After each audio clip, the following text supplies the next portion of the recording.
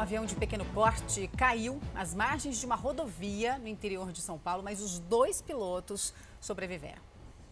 O planador caiu em uma estrada de terra no Jardim Santos Dumont.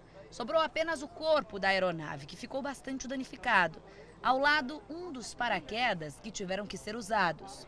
Dois pilotos estavam no planador, de acordo com a Polícia Militar, fazendo um voo que tinha saído do Aeroclube de Bauru sentido agudos, quando uma das asas se soltou e desestabilizou a aeronave. Os pilotos conseguiram ejetar o plex, que é o capô do planador, e acionar os paraquedas. Eles caíram próximo à aeronave, né, onde vocês estão vendo, e já foram em sentido a, à margem da rodovia, a pedido, pedindo socorro. Dona Maria trabalha perto do local onde o corpo da aeronave caiu. Ela diz ter visto tudo, desde o momento em que a asa se desprendeu do planador. Aí eu saí lá fora, quando eu olhei para cima, já estava as duas asas do avião para cada lado.